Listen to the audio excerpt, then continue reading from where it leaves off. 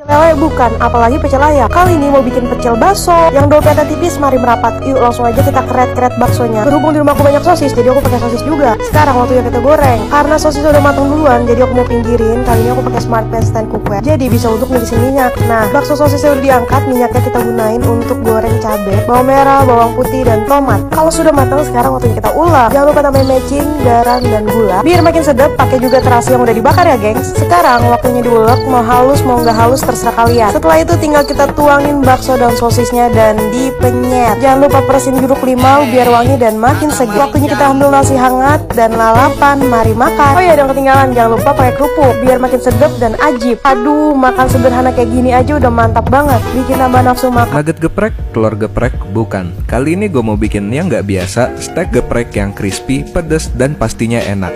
Ayo kita bikin. Pertama siapin daging steaknya. Kalau kalian pengen lebih empuk bisa pakai tenderloin. Habis itu kita kasih garam dan lada di semua sisi. Next panasin wajan yang udah diisi minyak dan sambil nunggu panas kita siapin telur, kita tambah air dan kita kocok sampai kecampur rata. Habis itu siapin tepungnya. Biar praktis di sini gue cuma pakai tepung bumbu serbaguna. Detail bahan ada di komen ya.